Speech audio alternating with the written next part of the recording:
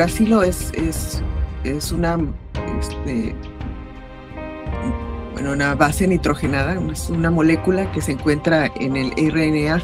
Es la primera vez que se toma una muestra de un, de un asteroide, por eso también es, es algo importante.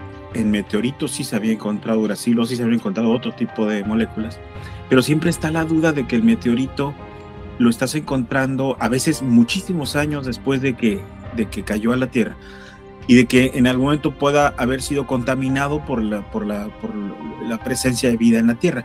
Y en este caso, se está yendo al meteorito. Se extrajeron dos, en, dos zonas, ¿no?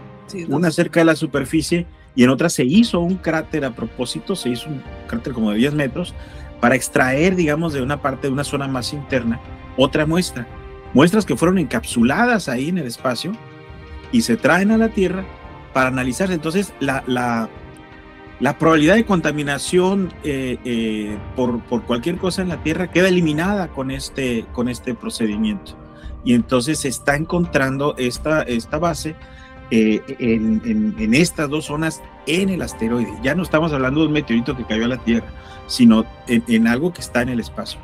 Y eso es súper importante porque hay muchas teorías sobre la, el origen de la vida y algunas de ellas es qué tal si la vida, la vida provino del espacio y una, una parte, la, teoría de la panspermia, y, otra posibilidad es qué tal si los ingredientes de la vida llegaron al del, del, espacio y aquí había las condiciones para que esos ingredientes este, eh, ayudaran a que se, a que se diera la, la vida. Entonces, eh, eh, estudiar esto en, en una roca que está todavía flotando, yo creo que es algo muy importante.